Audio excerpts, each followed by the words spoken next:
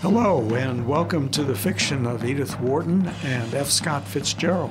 This course is about two remarkable American authors and their connection to one another. Although they belonged to two different generations, Fitzgerald revered Wharton's fiction. That was the word he used, revered, not just simply admired. The focus of this course will attempt to answer the question why. By the course's end, I hope we will read Fitzgerald's stunning novel, The Great Gatsby, with greater understanding.